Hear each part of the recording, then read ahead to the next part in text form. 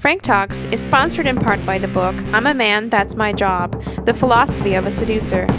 Ladies, have you ever wondered where all the real men have gone? Do you turn to your women friends because you cannot find a true man in your life? Do you want the man in your life to step up and know what it means to be a man that can make you feel like the woman that you are? Are you tired of mothering the men you date? Give these boys the gift of manhood.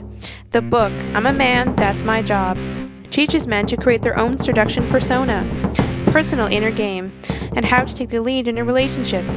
Buy this book now at franktalks.com.